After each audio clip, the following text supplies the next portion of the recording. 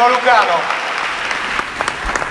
Il progetto di integrazione conosciuto come modello Riace, architettato dall'ex sindaco della città calabrese Mimo Lucano, è stato scelto dal Web Marketing Festival come esempio di innovazione sociale. Il politico è attualmente coinvolto in una vicenda giudiziaria che lo costringe a difendersi dall'accusa di favoreggiamento dell'immigrazione clandestina per il suo progetto di accoglienza. Dal palco di Rimini, Lucano si è tolto non pochi sassolini dalla scarpa anche in merito all'altra accusa, quella sull'assegnazione del servizio di raccolta rifiuti a due cooperative. La cosa incredibile che la Cassazione, che probabilmente è, è l'organo più alto del diritto, dice il sindaco non ha agito solo magari facendo gli interessi del territorio, ma come prevede la legge?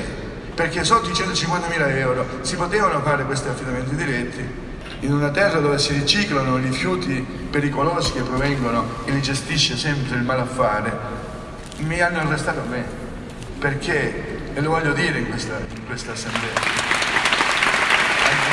sono lo scarto dell'umanità, ha detto Lucano riferito ai migranti. Sono vittime di un mondo ingiusto che li obbliga a un'unica soluzione, spostarsi.